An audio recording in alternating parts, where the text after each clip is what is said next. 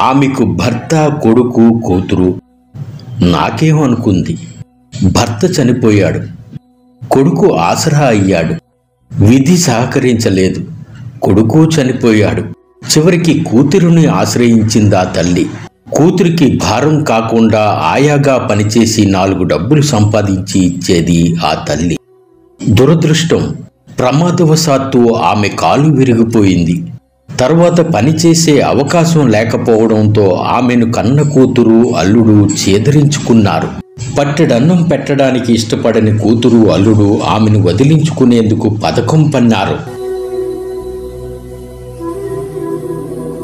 కొద్ది రోజుల క్రితం కోల్కతా రైల్వే స్టేషన్లో రైలు ఎక్కించి ఆమెను వదిలేశారు. చివరికి ఆ వృద్ధురాలు విశాఖ రైల్వే స్టేషన్కు చేరింది. కొద్ది రోజులుగా నానా ప్రయాస పడుతోంది.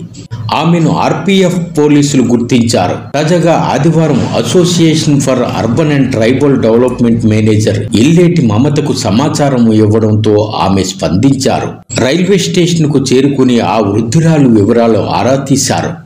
కోల్కతా కాళీఘాట్ ప్రాంతానికి చెందిన ఈ వృద్ధురాలు పేరు బాతిక్ ఖాజల్గా గుర్తించారు. ఆమెకు సపర్యలు చేసి పెందుత్తు లయోలా ఓల్డేజ్ హోమ్కు తరలించారు. హోమ్ నిర్వాహకులు విల్లూరి ప్రకాశ్రావుకు అప్పగించారు. ఈ వృద్ధురాలి సంరక్షణకు ప్రకాశ్రావు హామీ ఇచ్చారు. మానవత్వం లేని కూతురు అల్లుడుది బతికేనా అంటూ నగరవాసులు చెదిరించుకున్నారు. ఈ వృద్ధురాలి కోసం స్పందించిన ఎల్లేటి మమతను ఆర్పీఎఫ్ పోలీసులు అభినందించారు. ఎందరో అభాగ్యులకు ఆశ్రయం ఇస్తున్న ప్రకాశరావును దేవుడు అనకపోతే ఏమంటామని సంతోషం వ్యక్తం చేశారు.